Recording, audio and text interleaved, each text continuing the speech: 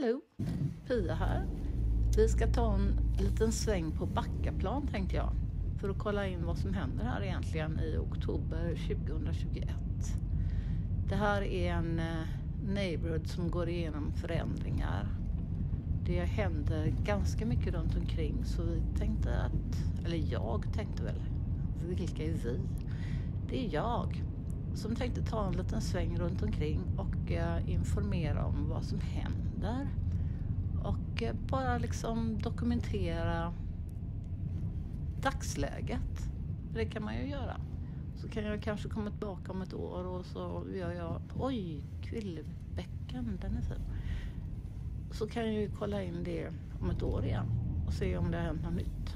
Så blir det ju lite eh, sådär historiskt. Oh. Här är BOV i alla fall. En del tror att det heter Stora Coop, men det heter BOV. Det vet alla Hisingsbor. Om ni inte vet det så är ni inte Hisingsbor. Gina och Lindis, de har legat här ett tag tror jag. Denna är ganska ny restaurangen där. Och sen har vi ju Global Buffé, väldigt stor buffé. Om du är väldigt hungrig kan du äta där. Elgigante. Där har jag faktiskt köpt ja, ett och annat. Inte så tokigt. Bra att ha en eh, affär med sladdar och prylar. Så ge oss in i en liten rondell. Vi har många rondeller här omkring. Eller vi har äh, många. Jag tror vi har tre. Det är väl bra nog. Denna biten är ju astråkig. Här är bara något det är baksidan av hela konkarongen. Det är väl antagligen där man tar in varor kan jag tänka mig eller vad man nu gör. Knarkdeals, jag vem fan vet. Det är väl bedrövligt. Och sen hittar vi oss en liten rondell igen. Men den är fräsch.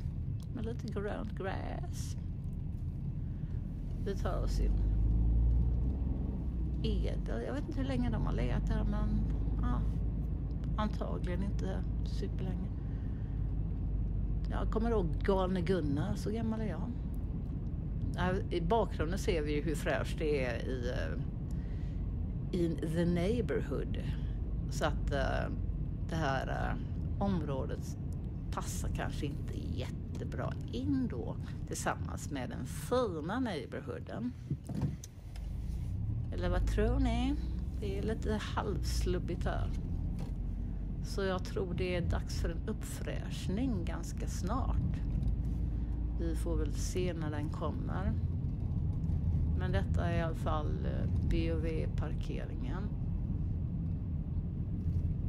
Och snart gör vi en liten vända om samma rondell som vi var i början och nu tar vi från andra hållet bara för att jävlas lite. Mattlandet har legat här i tusen år. ÖB, möbelaffären, den här byggnaden, var fan den är, jag vet inte ens vad det är för något. Men här har det legat annat än rustad. Det låg en chili tror jag. Och här kommer nu det tragiska. Sibahuset heter numera Jula. Nej, det heter Sibahuset, det vet vi. Här kan jag tänka mig att det kommer byggas något nytt. För de har rivit ner någon gammal skit. Dollar Store ganska ny. Där låg det en Toys R Us, tror jag minsann. Jysk har hängt med ett tag. Här är det tomma tomter som måste byggas upp. Den här ser ut att ha fått en liten makeover. Den såg inte ut så där. Mm. Vi kollar en lite äldre hus. Här är en, min favoritaffär på Backaplan. Ljusexperten, den är faktiskt helt okej. Okay. Vi åker mot själva Hjalmar Brantingsplatsen då. Där vi har eh, spårvagnar och bussar som connectar hela Göteborg. Det är ju trevligt. Flintstone har legat där länge. Mickey D's, Stadium. Det här huset ser ju lite trist ut numera. Kanske behöver lite makeover. Men ändå. Det händer grejer. Det är business as usual. Det är inte dött här någonsin. Ja, Systembolaget. Ah, ja, ja, ja. Kappa, Johanssons, de har legat där länge. Och här har vi det nya fina området som kanske tycker att det här är lite slummigt och äckligt. Men det är ju det är bra shopping.